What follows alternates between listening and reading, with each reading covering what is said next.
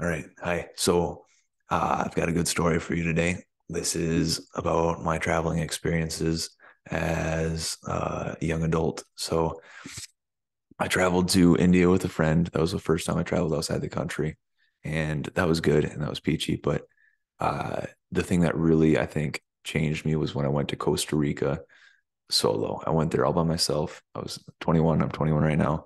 And um, I went for a whole month. I was planning to go for two. I ran out of money. I was going to go to Ecuador too, but I ran out of money. So um, I came back. But I want to talk today about how this traveling has changed my life, traveling solo in specific. So when I went to Costa Rica, I had a few days before I did what I was doing, which was a, like a almost like an internship.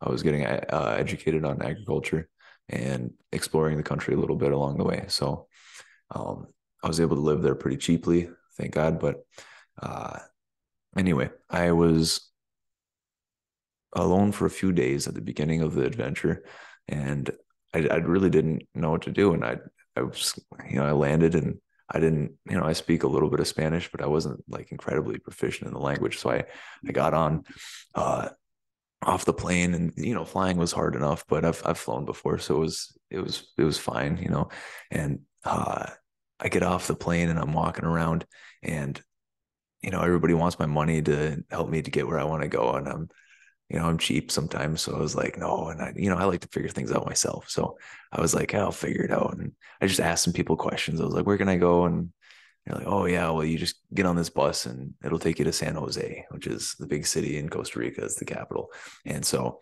I was like okay I'll get on the red bus and so I I got off the airport and went found the red bus and and then I realized that there was three red buses.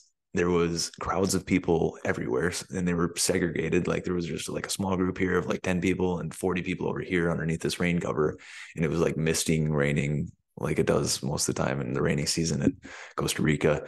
Um, and I was like totally unsure of what to do. I haven't ridden a bus. I'm from a small town in uh, Michigan, and that's that's like completely foreign to me. So I, I mean, I know we have buses here in bigger cities and stuff. We don't have public transport where I'm from.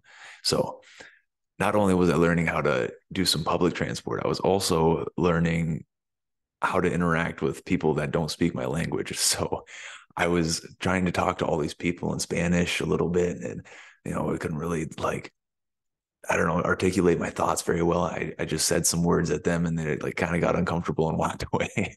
and uh, it, it, was just a fun experience. I ended up seeing a, a bus camp come up and it it said San Jose on it. And I was like, oh, cool. So I asked the bus driver, I was like, well, he's obligated to like, you know, kind of be a good guy, right? So uh help me get where I want to go. That's his job.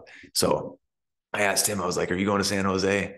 And he said, no, I like, he was like, I just came from San Jose. I was like, oh my gosh. Well, you know, and, but eventually I saw one that said San Jose and I got on, he was like, yeah, we're going to San Jose. He brought me there. It was all good. But, uh, I, I, I just tell this story because it, it was right away. It was a challenge for me. It was something that it was completely different to me.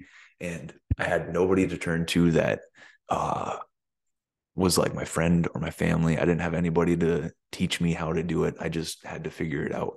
And I love that.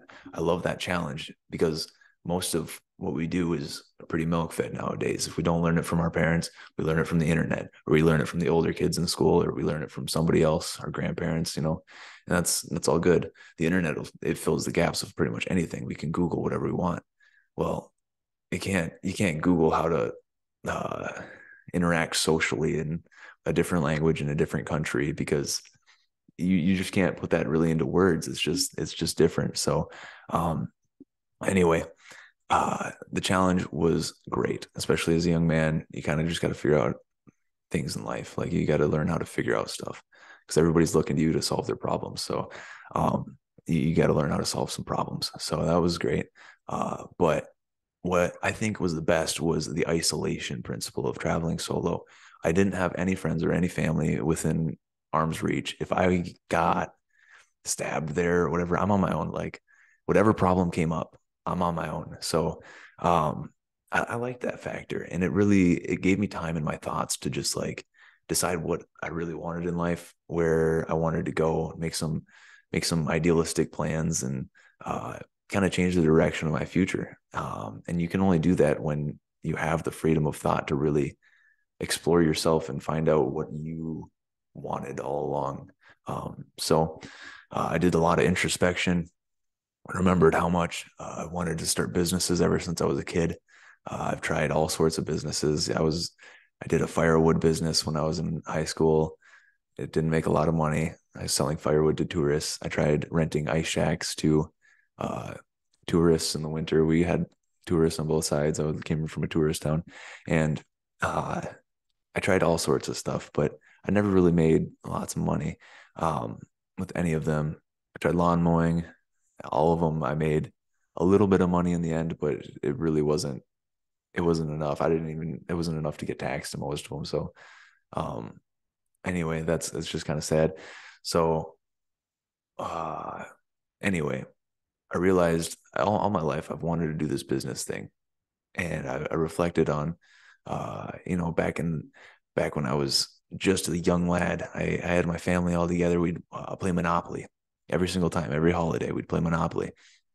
And they all grew to hate it, but I grew to love it um, every single time, and I got pretty darn good at it. So um, I know Monopoly doesn't translate directly to business, but there's there are a few lessons in that game, and there's a few lessons in most games that you can take on to business or any category in your life. But, uh, games are great at training your your personal character and your personal uh, problem problem solving skills.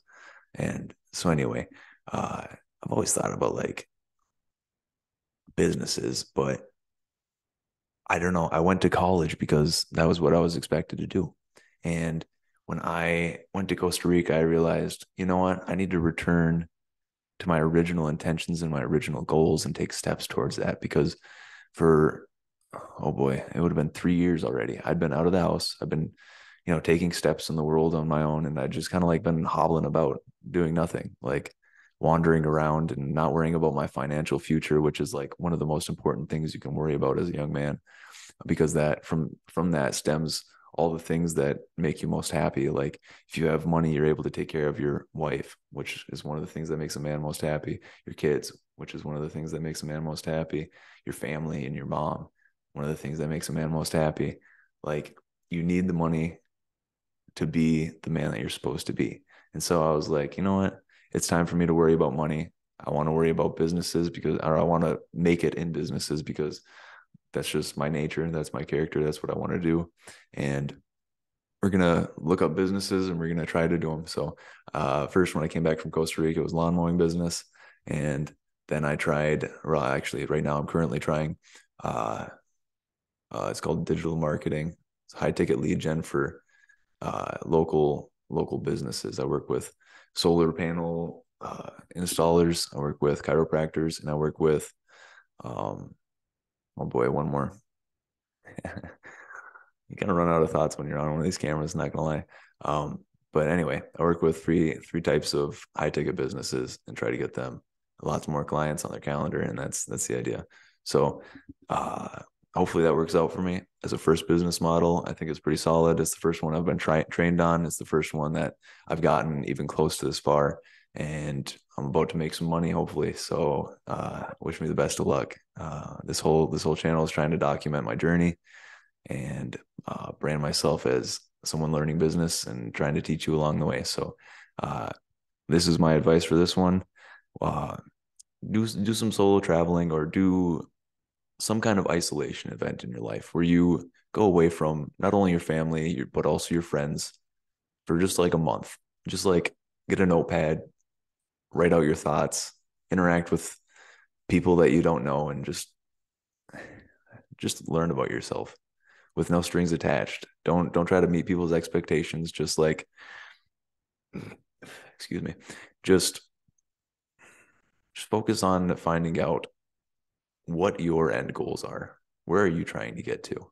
Because that, without that defined in your life, you're just kind of wandering around in the forest without having a a, a direct trail to anything.